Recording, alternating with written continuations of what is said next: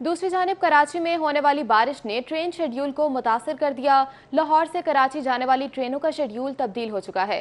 Karakoram express मनसूख जबकि Tezgam, green line, Shah Hussain और कराची एक्सप्रेस की रवानगी अढ़ाई घंटे ताखी का शिकार है। अंदरून सिंध और कराची में बारिशों के बायस कराची से लाहौर और दीगर शहरों में आने वाली ट्रेनों का शेड्यूल मुतासर हो गया। महकमा रेलवे ने लाहौर से कराची जाने वाली कराकरम एक्सप्रेस मनसूख कर दी, जबकि green line Karachi express, Shah Hussain express, Tezgam, business express और अलामा इकबाल एक्सप्रेस ढाई घंटे ताखिर का शिकार है। मुसाफिर मनसूख होने वाली ट्रेन की टिकट की टोटल रकम वापस ले सकते हैं और अगर किसी दूसरी गाड़ी में सफ़र करना चाहें तो वो भी कर सकते हैं। Forty two down Parakram express आज कराची के लिए कैंसिल कर दी गई है रवाना नहीं होगी। बाकी ये कि आने वाली मनसूख है कराची से नहीं चली है वो। तो यहाँ से राइड कर दी गई है फ़िलहाल ना।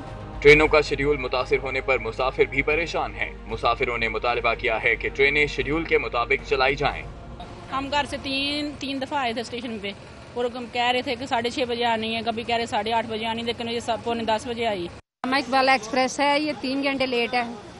और जाने में मुश्किल आती है ना, सुबह से आके बैठे हुए हैं, तीन घंटे इंतज़ार करो, उसके बाद ट्रेन आए, फिर आगे पता नहीं कितनी देर लगाएगी जाने में।